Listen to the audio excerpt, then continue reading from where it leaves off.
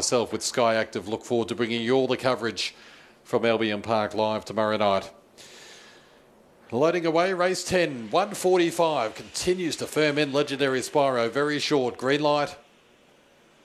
Racing Legendary Spyro, only a moderate getaway, better speed from hooked on in. There's Legendary Spyro dashing to the lead now. Systems down three to second. Third is Ganacho, getting very wide, hooked on in. Pass by Go On Get, getting back, Zipping Everest. Back with it, Loveless and My Mate Sparny. Legendary Spyro only two clear. Systems down, not going away. And issuing a bit of a threat. Legendary Spyro's out of tickets. Over the top, Systems down too good.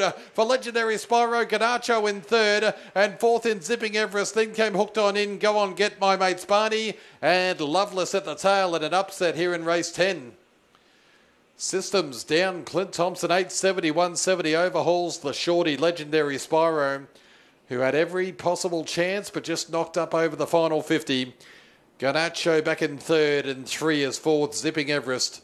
1273, 23 and 87 the gallop to race number